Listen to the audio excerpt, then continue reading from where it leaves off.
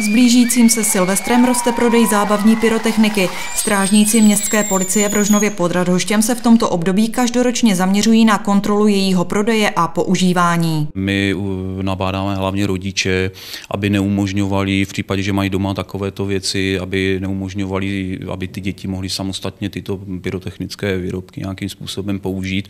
Eh, může dojít ke zranění jak eh, třeba očí, prstů, ale i eh, může dojít k poranění sluchu. Dětem do 15 let by nikdo neměl pyrotechniku prodat, lidem do 18 pak jen ty rachejtle, které spadají do první třídy nebezpečnosti. Ta musí být vyznačena na každém výrobku. Pokud je uvedena jen na krabičce, nesmí se prodávat na kusy. Loni jsme měli pár případů, kdy jsme upozornili na prodej osobám mladším 18 let, nicméně se to neopakovalo potom, nebyl s tím problém.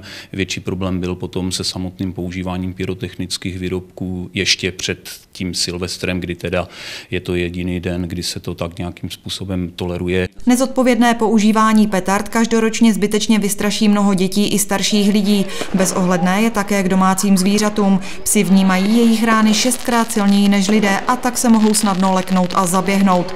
V rámci prevence budou strážníci do škol roznášet letáky upozorňující na nebezpečí pyrotechniky.